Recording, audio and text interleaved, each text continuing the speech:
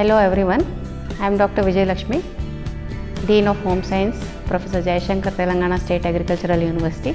I am here to offer a 11 week course of MOOCs on food science and processing.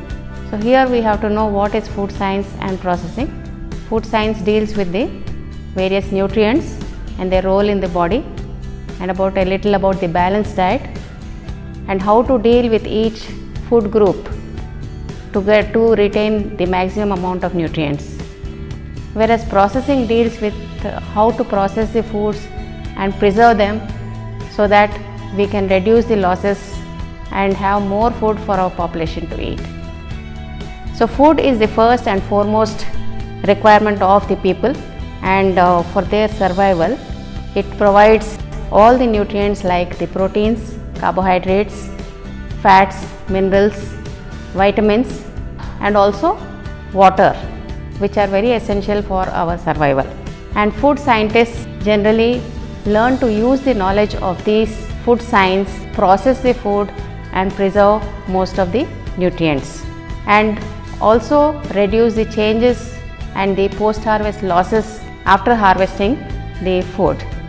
The scientists also try to uh, devise various storage methods and reduce the losses of food so that the food is available for a long time for the population.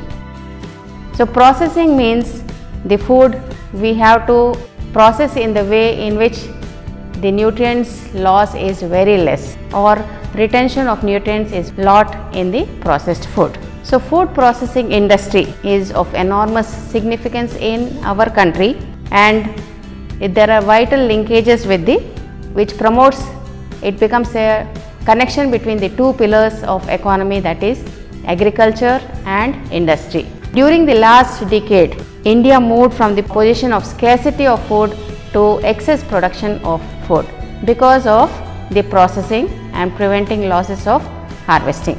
So food processing India is on an assured track of growth and the profitability. So investment on food industry on the improvement in the human and technological and financial areas also is improved because lot many people are also gaining employment because of food process industries and the total food production in India is estimated to double by the next 10 years. So therefore an opportunity for food processing industries is increasing also in the same way. So we require more amount of skill and equipment for processing the excess amount of food that is produced. So objectives of food science and processing is one is preservation, then safety of foods, then quality maintenance of the foods, availability, sustainability, then convenience, health and wellness of the population. After completing the course, the learner will be able to understand what is food science and processing, what are the various uh, substances that are present in food and how to process them, then explain the significance and basic concepts of the subject and be aware of the skills that are required for processing and to become a professional food scientist and also will know the scope for self-employment. Because there are so many advantages of the course on food science and processing, I request most of the participants to register in the course and take the advantage of learning about the food science and processing and apply in their daily lives and also in uh, processing of food and becoming a self enterprise ownership. So thank you all.